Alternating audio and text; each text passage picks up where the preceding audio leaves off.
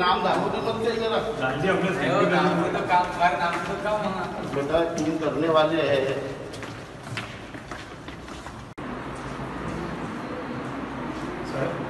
इक्कीस तारीख को जो M P register Asaduddin Owaisi साहब के मामले में जो हिंदू सेना की तरफ़ से हमला हुआ वो हमले का हम निषेध करते हैं और ऐसे लोगों पे जो है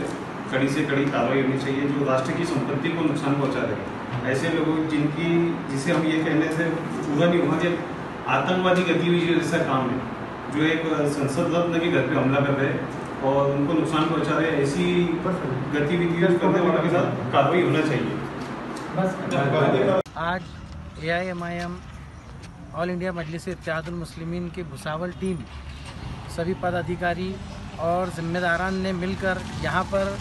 एसडीएम साहब को एक निवेदन दिया है कि 21 तारीख को जो हमारे कायद नकीब मिल्लत और member of parliament barrister Asaduddin Owaisi साहब, इनके दिल्ली निवास पर जो हमला हुआ है, उस हमले की मजम्मत के लिए और उस हमले की जो है तो निषेध के लिए हम लोग यहाँ जमा हुए हैं। और हमने जो है तो प्रशासन से ये गुजारिश की है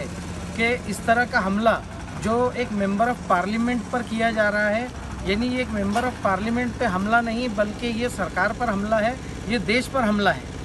Member of parliament barrister Asaduddin Owaisi साहब को अ,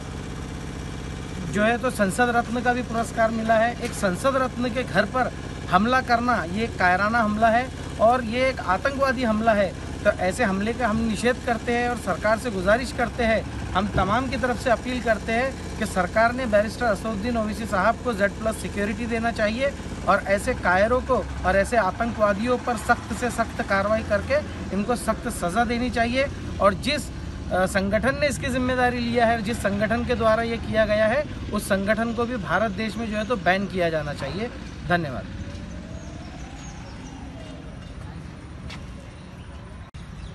आज यहाँ हम सब पदाधिकारी एसडीएम ऑफ़िस में जमा हुए 21 तारीख को हिंदू राष्ट्रीय सेना के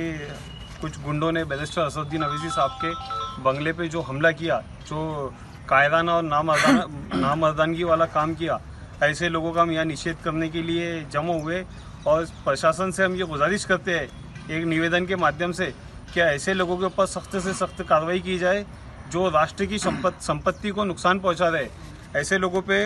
कानूनी कार्रवाई होना चाहिए और बैरिस्टर असदुद्दीन अवैसी साहब की हिफाजत के लिए उनको जेड प्लस सिक्योरिटी मुहैया करवानी चाहिए। बोल। बोल बोल रहा हूँ।